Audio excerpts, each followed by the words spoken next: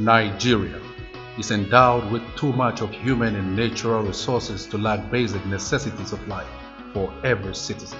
The power to institute the Nigeria of our collective dreams is in our hands.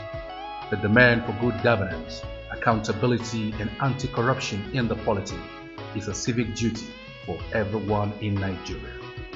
You can play your part in the new Nigeria that we seek. Be interested in the governance of your country. Shun voter apathy like a plague. Encourage public conversation on accountability and transparency in governance. Be politically conscious. This message is brought to you courtesy of CETA and the MacArthur Foundation.